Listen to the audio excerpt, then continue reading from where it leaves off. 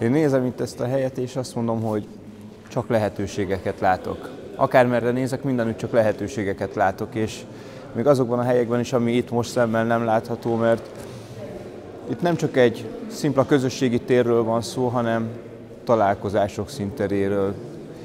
Rengeteg ismeret, rengeteg szeretet, rengeteg kapcsolat rejlik ebben a helyben. És én azt gondolom, hogy 25 év egy gyülekezet életében az egy megpróbáltatás. Az autonóm gyülekezet, amikor én erre gondolok, akkor úgy jelenik meg a fejemben, mint a, mint a vándorlás, akiknek az ígéret földje meg van ígérve, és egyszer csak ott találják magukat a határában, és azt mondják, hogy megérkeztem.